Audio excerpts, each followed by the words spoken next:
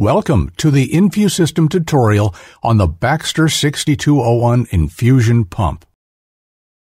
Start by priming your Baxter 6201 specific administration set using aseptic technique and following the instructions as detailed on the solution set packaging. Ensure that all air is expelled from the set.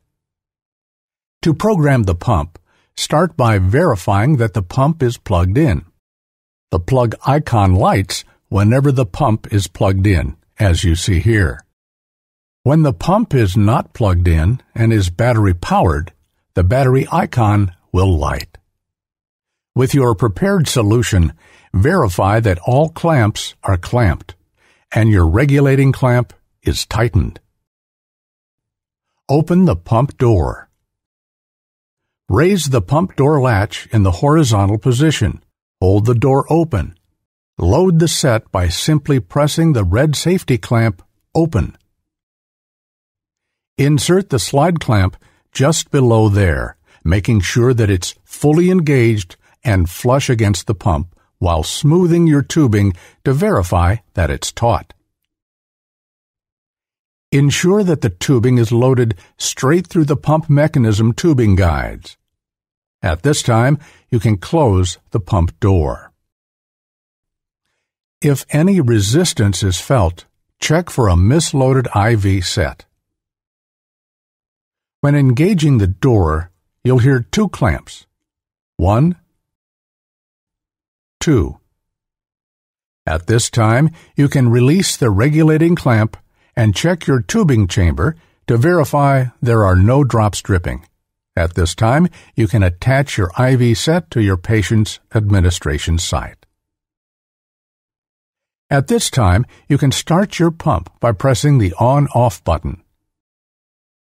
Verify that it goes through the appropriate system check.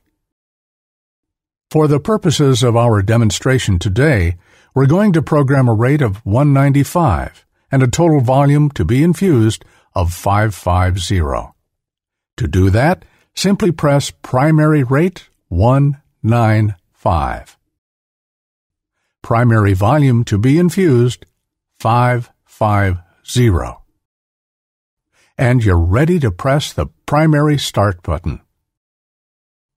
I know that my pump is infusing because of the green indicator light that shows me that it's pumping and the drop icons next to my rate. At this time, to prevent any interaction with the infusion pump panel, simply go to the back of the pump, press the panel lock button by pushing it in, and you'll note on the front of the pump that the LOC appears next to your rate infusing. Once your infusion is complete, it'll necessitate once again pressing that lock button to allow you to interact with the keypad.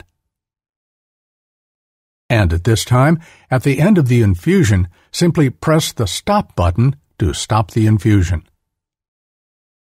Press the power button to stop the pump. To remove your tubing set, press in and out on your door latch.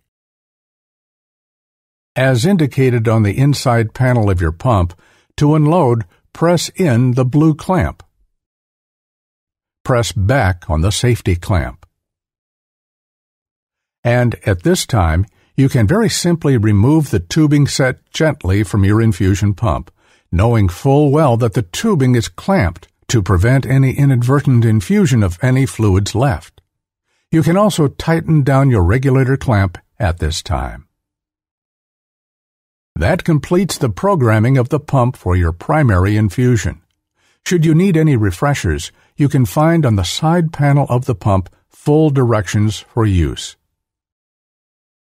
You also can find on the side of the pump a sticker indicating that you can call for further assistance to the InfuSystem number 1 800 658 5582 with any questions 24 7. If you need a reminder on loading or unloading the set, simply refer to the tip card attached to your infusion pump that talks about proper set loading and proper set unloading. Thank you for your attention to our in-service on the Baxter 6201 infusion pump. And thank you for using InfuSystem.